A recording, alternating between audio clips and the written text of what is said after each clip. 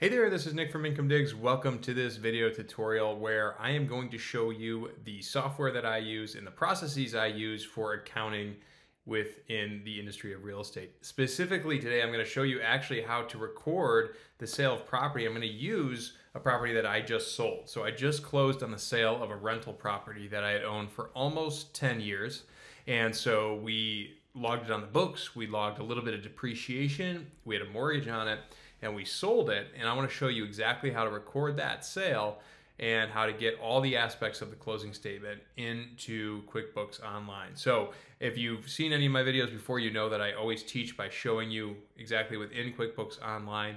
I will mention that if you're interested in our end-to-end -end real estate accounting course, we have Real Estate Accounting Bootcamp, which is ready to go for you, end-to-end -end accounting. Check that out. Let's dive into today's lessons where I'm going to talk to you specifically about closing on the sale of property. So what I have here is a closing statement of the sale. Now this closing statement is actually a little bit different than you might get. It's not like the standard format. And in fact, I think it's a good one to demo on because the standard format is actually a little bit easier. It's got debits and credits and really kind of easy to follow. This is um, something that some law firms use, which is their own little format. And basically, let, let me talk you through what happened with this property. So, so we sold it for 182,500. Okay, so it says purchase price because it's also from the perspective of the buyer.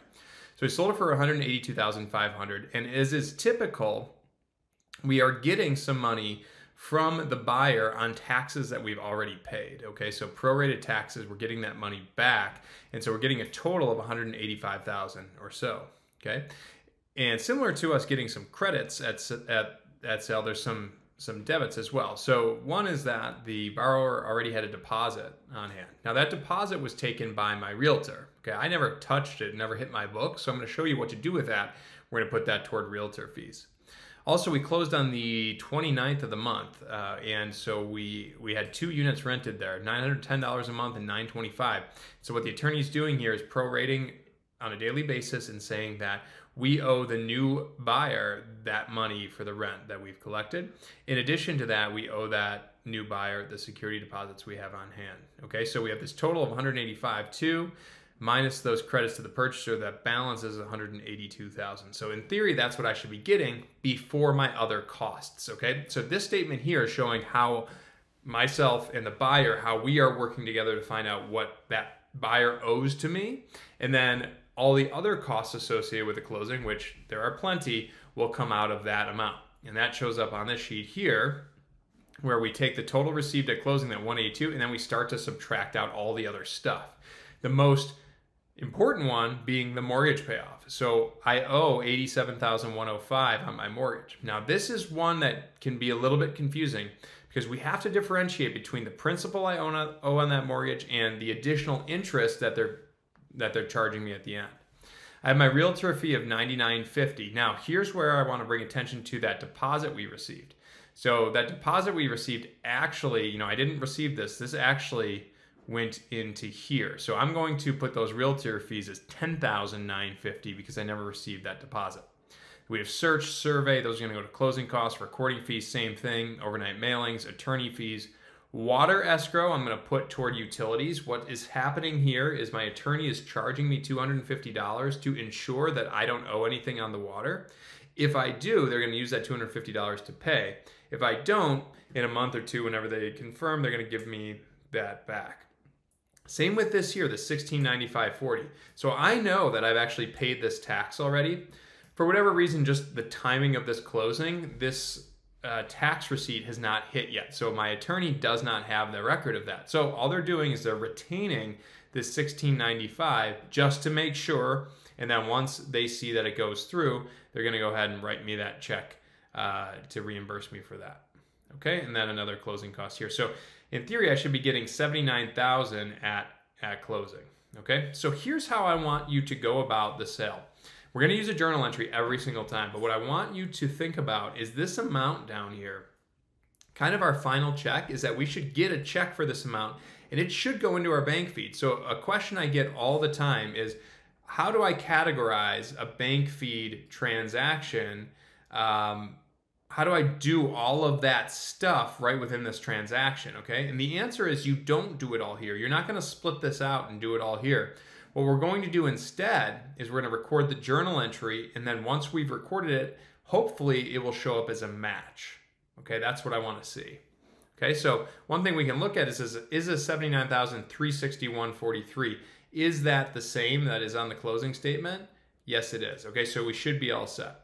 All right, so what I want to do is I want to go through and record this sale. Now to do that, first I want to look at what is the balance of this property on my books the day before I sell it. Okay, what I'm looking at here is I need to zero out my balance sheet when it comes to this property. So I currently have the property on with some land, base cost of building, I've depreciated it, and I have tiniest bit of capital improvements that it looks like I never really specifically depreciated. Either way, all of these are gonna get to zero. That's key important point number one all of these items need to get to zero. Also my security deposit. So I'm paying those to the new buyer so those can zero out. And finally my mortgage. 86,489.67. That's what I have on my books. I keep really good books when it comes to my mortgage, so I know that that's the value of that. In fact, I think that it also accounts for a payment that I made in July. So what I'm going to do is we have to differentiate between this principal and the total payoff that my attorney's saying I owe. So in really what's happening here is that difference is interest. It's also the fact that I had an extra payment. So what I'm going to do is I'm going to record that difference as interest, and then my bank will likely refund me the amount that I've overpaid, and I'm going to then back that out as interest as well. So let's go through and start making this transaction. Again, I want these all to be zeroed out. So what I'm going to do on my screen here is I'm going to take a screenshot of this so that I actually I'm going to print it uh, for myself, save as a PDF, and um, pull it up on my other screen just so I have it available to me and I'll keep it up here for your view as well. All right, so let's do a journal entry. Every purchase and closing, uh, purchase and sale, we're gonna do as a journal entry. So here I'm gonna do journal entry as of the date that I close. So 629, 2022. This just happened a couple weeks ago. Okay, so first thing we want to do is we want to zero out all those fixed assets. So we know that we have land, we have building, base cost. We also have building depreciation. Now in this case, I actually don't have any closing costs, okay? I didn't record closing costs. I typically do. This is one of the earlier properties I've ever put on my books. So back then I wasn't doing it. So notice I don't have any closing costs. I just have land, buildings, and I do have some capital improvements. Okay, so I, I won't do closing costs on this, um, but I typically would. Okay, so capital improvements, and I'm going to do the base costs. I, I didn't record any depreciation on my capital improvements, therefore I don't need to bring that up in the journal entry. And this is really an easy thing to do. All we're going to do is get this to zero. So if I have 35,000 in land, I want to credit that 35,000 to get it to zero. Okay, now I am using location tracking here. This is a property owned by me personally. So I'm gonna put it into the business of personal, okay? I'm gonna back up my building base cost, which is 79,000. So I actually bought this property for 114,000 back in 2011. Okay, so the combo of the 35,000 and the 79,000 is that 114. I think that math works. All right, my depreciation currently has a negative 18,097, so I'm going to debit that. 18,097.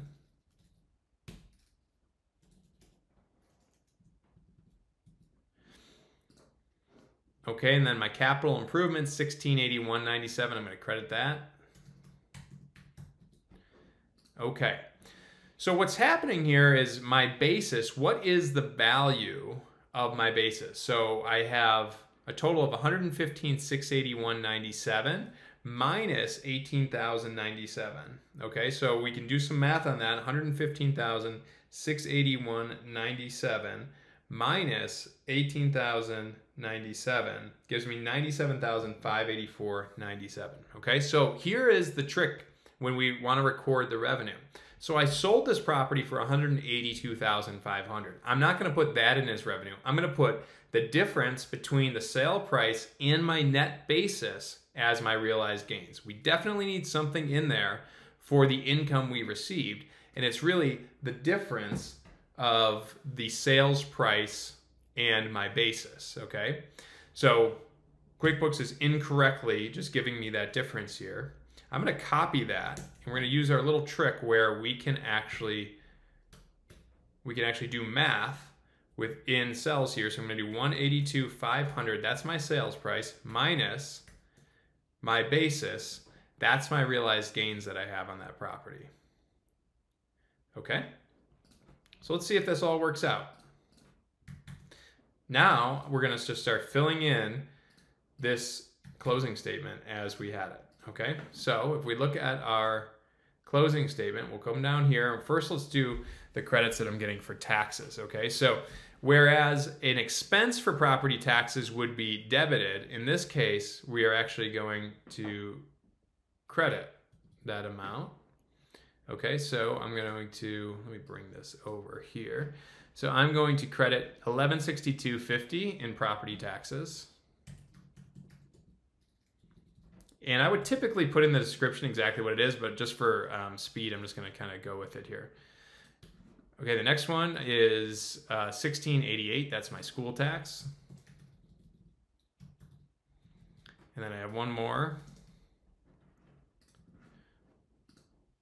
Is 1563.68.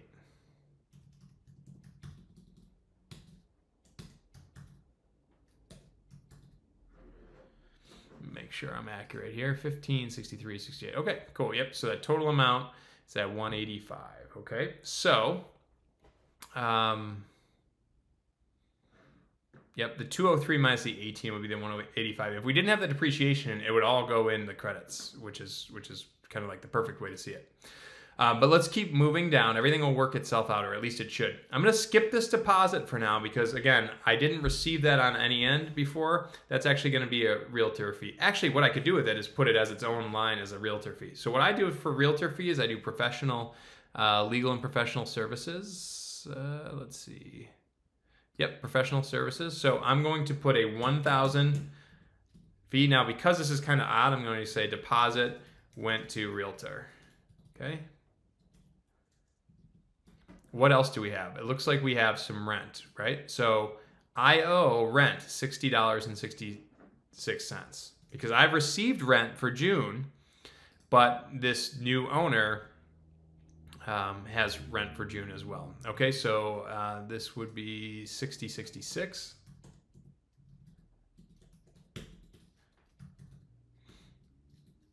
Uh, and we also have security deposit.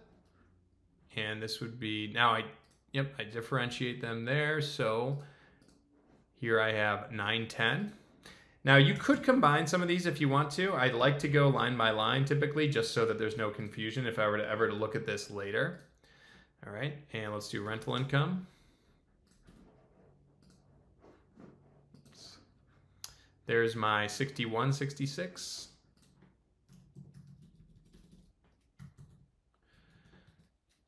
And then last security deposit of $925. Okay, so I'm close. Now, here's one thing, another little trick, okay? Now, when you're going through and you're making a lot of lines here, I'd love to be able to save my work so that if I mess something up or if I lose internet connectivity, I don't lose it all. So if I click save here, that'd be great, but QuickBooks won't let me do that because debits and credits aren't matching yet. So what I recommend you do is just put something in here to be able to save the transaction and be able to come back to it later. So let's just put in whatever my next line is going to be. My next line is going to be my mortgage payoff. I have that right here as the 87,000. So why don't I just put in that mortgage? Okay. Now I'm going to, that's not correct, but I'm just going to save it. I'm going to plan it there and save it just so I can save it. Okay. I just don't want to lose my work if I, if something were to go wrong. Now notice that QuickBooks is guessing that 182, 285, 74. One little check we can do is that that amount should be equal to what we have total at closing, which it is. So we are on the right track. Now we're going to continue on with the actual amounts. So here I have my mortgage payoff, 87,105.91. So I could put that all in right here. I could do that. Uh, the problem though, so I could do this 87,105.91.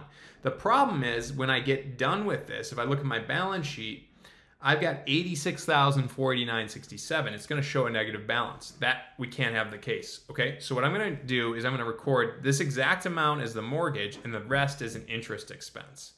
Okay. So I'm going to take this amount that they're saying that I owe, which check that work, make sure that that's accurate. I'm going to subtract out what I have in in my balance sheet, which is, whoops, I lost the whole thing, didn't I? Okay, so um, let me just get it all back here. So we're gonna do 87,105.91 minus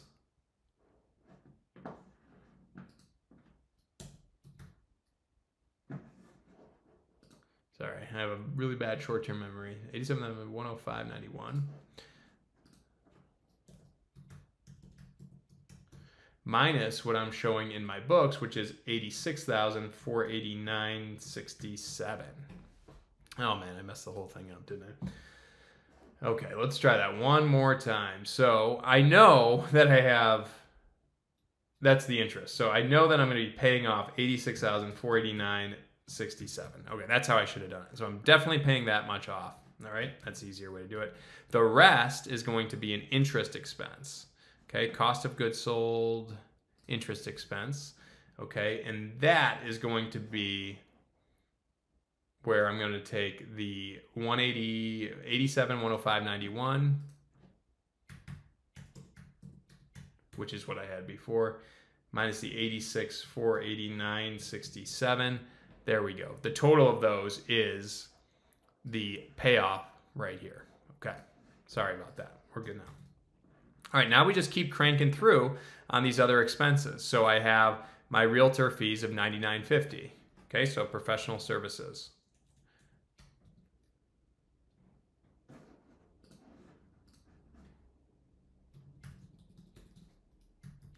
I have this on my other sheet. I'm just going to kind of go through. I have $830 in search. Okay. Again, professional services. I don't go too crazy in differentiating between search, survey, all that stuff, like whether it's legal services, professional.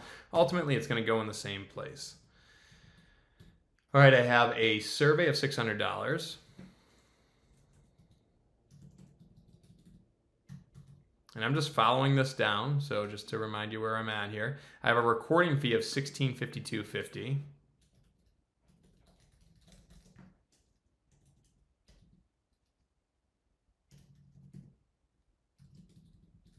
Again, use the description to indicate what you're doing. I have overnight mailing, so we can keep that going with professional services of $95. All right, I have my attorney fee of 695 right there. I don't know if I have a legal separately. I do. Yep, legal fees of 695. Okay, let's see, water escrow. So $250 in water. Now this is where I don't really owe that yet, but they're hanging on to it. So for now, I'm gonna record that as water. All right, as $250 in water. And once I get the refund, I'm gonna record that as water as well, and it should go to zero. Same thing with this property tax, this next one, the 1695.40. I've paid that, I know I have. But for now, let's put it in. And then once I get it back, I can back it right out. All right, my last one here is uh, record mortgage discharge, $50.50. Let's call it professional services.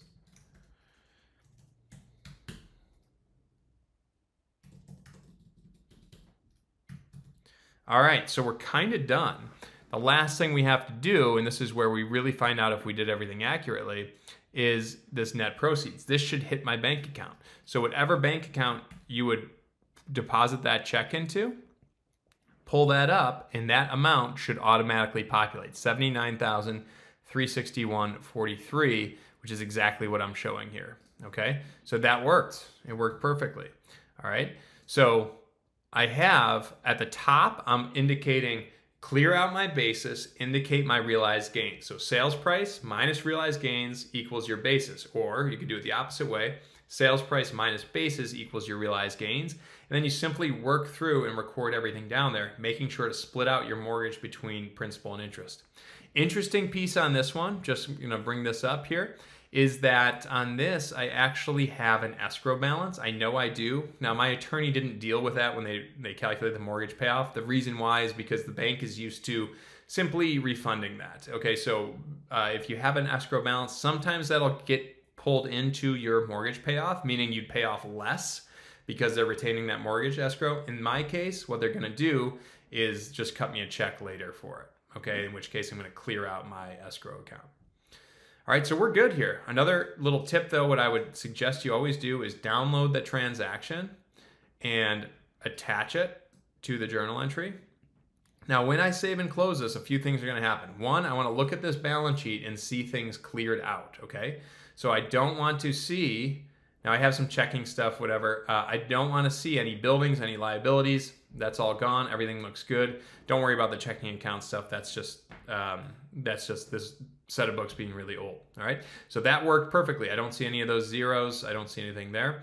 And then the last part would be to go to my bank transactions and this 79,000, now that I've recorded the transaction, I should hopefully see a recommended match, and there it is right there. So as soon as I match this, instead of going into this and categorizing it, I'm simply matching it to the journal entry that I've already created. Right there. All right. So recording the sale of property can be very, very confusing. I definitely understand that. What's key is to ensure that one, we zero out our balance sheet. All of our assets must be zero. All of our liabilities tied to the property must be zero. That needs to happen. Secondly, is we need to uh, ensure that we are following our closing statement accurately and making sure that we're uh, attributing those funds to the right place when it comes to the mortgage payoff, etc. And of course, we want to make sure that we are recording our journal entry first and then coming back to the banking feed and doing the match. Okay. So I wanted to show you a very specific example. Again, I just sold that property. So um, it seemed like a really good time to do that. And um, let me know if you have any questions about this specifically. If you saw something like, well, why did you do this? Why did you do that? If you have any other specific questions, go ahead and add them to the comments. And of course, check out our end-to-end course, Real Estate Accounting Bootcamp. We have awesome students in there all the time who are learning all this stuff, applying it to their own businesses. And I am there in the Q&As and in the membership site to help with any questions that you have, okay? So hope to see you in the course, but uh, regardless, check out all the free resources available at incomedigs.com, and we'll see you on the next video.